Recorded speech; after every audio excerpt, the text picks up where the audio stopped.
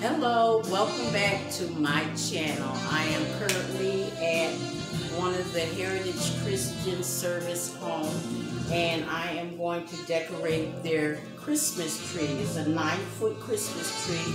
I would like for you guys to come along and sit back and enjoy. Don't forget to subscribe, like, and comment.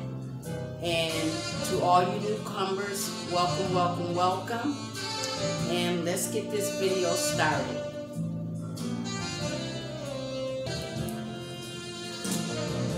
So I noticed that the lights, like up in here, there's no lights. The lights went out on the Christmas tree. So I'm gonna fix that with these lights and I'm gonna add these on the Christmas tree.